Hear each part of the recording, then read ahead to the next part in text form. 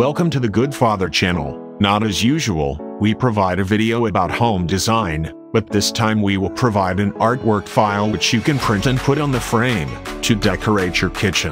The files we provide are JPG, PNG and SVG with high resolution, so when printing the resulting image not broken and blurred. You can download via the link in the description below this video for free. Okay, finally, thanks for watching. Look forward to the home design video this weekend. Don't forget to like, share with your friends and family, and don't forget to subscribe. Thank you.